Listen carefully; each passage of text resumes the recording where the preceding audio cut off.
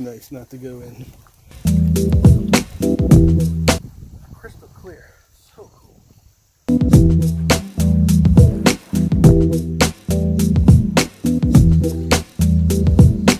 Cool little cove protected from the south.